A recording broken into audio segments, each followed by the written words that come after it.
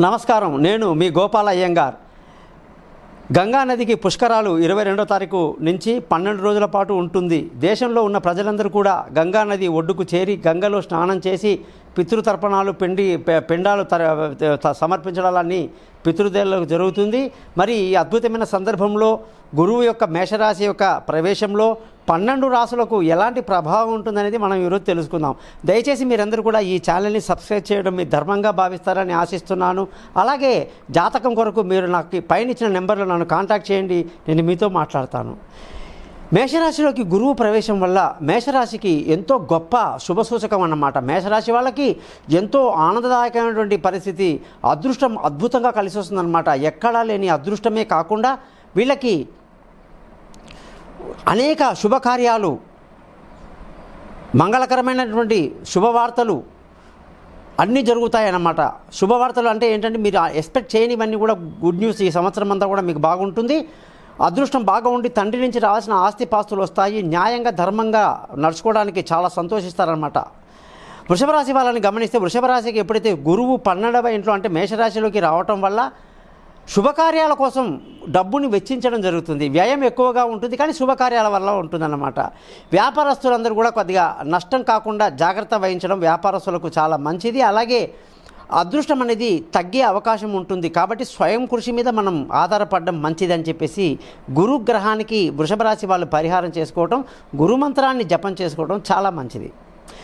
మిథున్ రాశి వాళ్ళని గమనిస్తే మిథున్ రాశి వాళ్ళకి గురువు మీనం నుంచి మేషంలోకి ఏకాదశ స్థానం అంటే పదకొండవ ఇంట్లోకి రావటం వల్ల అనేక శుభాలన్నమాట. ఉద్యోగస్తులకి ప్రమోషన్లు ఇంక్రిమెంట్లు పై అధికారుల ప్రశంసలు అలాగే కొత్త కొత్త ఉద్యోగాల్లో అవకాశాలు ఇంటర్వ్యూలు సక్సెస్ అవ్వడాలు ఇవన్నీ కూడా మిథున రాశి వాళ్ళకి అద్భుతంగా ఉంటుంది. అలాగే వీళ్ళకి భార్యాభర్తల మధ్య చక్కటి సయోధ్య కలిగి చాలా సంతోషంగా ఉంటారన్నమాట. దూరంగా ఉన్న భార్యాభర్తలు కలుసుకునే అవకాశాలు మిస్అండర్స్టాండింగ్ తగ్గిపోయే అవకాశాలే కాకుండా పెళ్ళి కాని వాళ్ళకందరికీ కూడా ఖచ్చితంగా మిథున రాశి వాళ్ళకి పెళ్ళి జరిగి తీరుతుందని చెప్పేసి కూడా మనం ఖచ్చితంగా చెప్పవచ్చు ఇక కర్కాటక రాశి వాళ్ళకి ఈ యొక్క గురువు మేషరాశిలోకి ప్రవేశించడం వల్ల భాగ్యస్థానంలో ఉన్నటువంటి గురువు కాస్త దశమ స్థానంలోకి వస్తున్నాడు. దీనివల్ల ఉద్యోగంలో కీర్తి ప్రతిష్టలు పెంచుకోవటం కొత్త కొత్త ఉద్యోగ అవకాశాలు రావటం అలాగే ఇంటర్వ్యూలు సక్సెస్ఫుల్గా ఉండడం ఉద్యోగంలో పై అధికారుల ప్రశంసలతో సంతోషంగా గడపడం ఇవన్నీ జరుగుతాయి. అలాగే అదృష్టం బాగా వరిస్తుంది. మంచి అదృష్టవంతులు తండ్రి సహకారాలు బాగా లభిస్తాయని చెప్పవచ్చు. అలాగే సంపూర్ణమైన ఆరోగ్యాన్ని కూడా కలిగి ఉంటారని చెప్పేసి కర్కాటక రాశి వాళ్ళకు తెలియజేయడం జరుగుతుంది. సింహరాశి వాళ్ళకి కానీ గమనిస్తే సింహరాశి వాళ్ళకి మేషరాశిలో సు గురువు ప్రవేశించడం వల్ల గొప్ప అదృష్టం. ఎన్ని రోజులుగా అష్టమంలో ఉన్నటువంటి గురువు కాస్త తొమ్మిదవ ఇంట్లోకి భాగ్యస్థానంలో రావడం చాలా విశేషం అన్నమాట ఇలా గురువు రావటం వల్ల ఇన్ని రోజులుగా ఉన్నటువంటి ఎన్నో పెండింగ్ పనులన్నీ కూడా అద్భుతంగా పూర్తవుతాయి. శుభవార్తలు అందుకుంటారు. మంగళకరమైనటువంటి విషయాలు జరుగుతాయి. తండ్రి సహకారం వల్ల గొప్ప ఆస్తి పాస్తులు రావటం న్యాయంగా ధర్మంగా జీవించటం సంతానం లేని వాళ్ళకి మంచి సంతానం కలగడం అందులో కూడా మగ సంతానానికి అధికంగా అవకాశాలు ఉండడం కూడా సింహరాశి వాళ్ళకి ఈ సంవత్సరం జరుగుతుందని చెప్పేసి చెప్పవచ్చు కన్యారాశి వాళ్ళని గమనిస్తే కన్యారాశి వాళ్ళకి సప్తమంలో ఉండే గురువు కాస్త అష్టమంలోకి వస్తున్నాడు. మరి దీనివల్ల భార్యాభర్తల మధ్య చిన్న చిన్న గొడవలు ఇబ్బందులు వచ్చే అవకాశాలు అలాగే దూరంగా ఉన్న భార్యాభర్తలు మరి దూరంగా విడిపోయే అవకాశాలు పెళ్ళి కాని వాళ్ళకు పెళ్ళిళ్ళు ఇంకా పోస్ట్పోన్ అయ్యే అవకాశాలన్నీ జరుగుతాయి. దీనివల్ల గురువు యొక్క పరిహారాలు చేసుకోవడం గురు మంత్రాన్ని పఠించడం లాంటివన్నీ చేస్తే మీ కన్యారాశి వాళ్ళకి మేలు జరుగుతుంది. విలువైన వస్తువులు భూములు వాహనాలు తల్లి ఆరోగ్యం ఈ విషయాల్లో కూడా అష్టమ గురువు కాస్త ఇబ్బంది పెడతాడు కాబట్టి ఇవన్నీ నష్టానికి దారితీస్తాయని కూడా మీరు తెలుసుకోవాలి.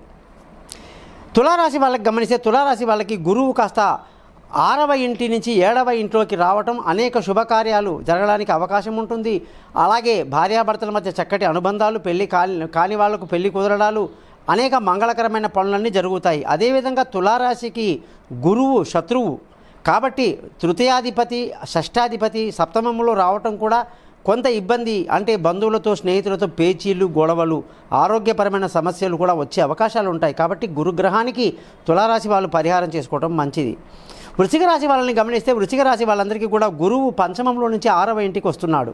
మరి పంచమ స్థానం నుంచి ఆరవ ఇంటికి రావటం వల్ల ఏమవుతుంది అని ఆలోచిస్తే ధన నష్టం కుటుంబంలో కలహాలు చిన్న చిన్న గొడవలు సంతాన విషయంలో విచారణం దూర ప్రయాణాల్లో ఇబ్బందులు దూర విద్య కోసం ప్రయత్నం ప్రయత్నం చేసే వాళ్ళకి ఇబ్బందులు ఇవన్నీ జరుగుతాయి. కాబట్టి వృశ్చిక రాశి వాళ్ళు గురుగ్రహానికి పరిహారం చేసుకోవటం మంచిది.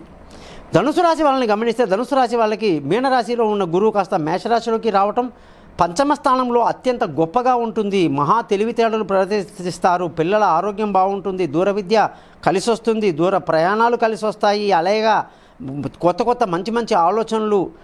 అలాగే మంచి ఆర్తి మా- సెల్ఫ్ కాన్ఫిడెన్స్ ఆత్మస్థైర్యాన్ని కలిగి చాలా ముందుకు వెళ్తారు. ధనుసు రాశి వాళ్ళకి చాలా మంచిదన్నమాట. మకర రాశి వాళ్ళకి మీనరాశిలో ఉన్న గురువు మేషరాశికి రావడం చాలా మంచిది. అలాగే విలువైన వస్తువులు భూములు వాహనాలు ఇతరత్ర తల్లి ఆరోగ్యం ఇవన్నీ బాగుంటాయి. అన్నీ కొనటానికి చాలా మంచిది. అలాగే ఖర్చు అధికంగా ఉండడమే కాకుండా బంధువులతో స్నేహితులతో చిన్న చిన్న గొడవలు ఇబ్బందులు అలాంటి అవకాశాలు ఉంటాయి కాబట్టి ఆ విషయాల్లో జాగ్రత్త వహించాలి. కుంభరాశి వాళ్ళకి ఎప్పుడైతే గురువు మీనం నుంచి మేషంలోకి వెళ్తున్నాడో దీనివల్ల ధనస్థానం కాస్త ఇబ్బందికరంగా కరంగా ఉండడం కుటుంబంలో కలహాలు ఇబ్బందులు చదువు విషయంలో పిల్లలు వెనకబడడం ఇవే కాకుండా వ్యాపారస్తులకు నష్టాల పాలవ్వటం అనేది కుంభరాశి వాళ్ళకు జరుగుతుంది. కాబట్టి గురుగ్రహానికి పరిహారాలు చేసుకోవడం మీకు ఎంతైనా మంచిది. మీనరాశి వాళ్ళకి లగ్నంలో ఉన్నటువంటి మీనంలో ఉన్న గురువు కాస్త మేషంలోకి రావటం అనేది చాలా గొప్ప విషయం. ధనస్థానం బాగుంటుంది సెల్ఫ్ కాన్ఫిడెన్స్ బాగుంటుంది కుటుంబంలో సంతోషాలు కలిగి ఉంటారు. పిల్లల చదువులో మంచి అభివృద్ధి ఉద్యోగస్తులకైతే పట్టరాని ఆనందం గొప్ప గొప్ప ప్రమోషన్లు ఇంక్రిమెంట్లు పై అధికారుల ప్రశంసలు కొత్త ఉద్యోగ అవకాశాలు అన్నీ బాగుంటాయన్నమాట. కాబట్టి మీనరాశి వాళ్ళకి ఎంతో మంచిది. ఈ విధంగా ఎవరెవరికైతే గురుగ్రహం మార్పు మంచిగా లేదో వాళ్ళందరూ కూడా నన్ను కాంటాక్ట్ చేయండి. మీకు తగిన పరిహారం నేను సూచిస్తాను. నమస్కారం. గోపాలయ్య గారు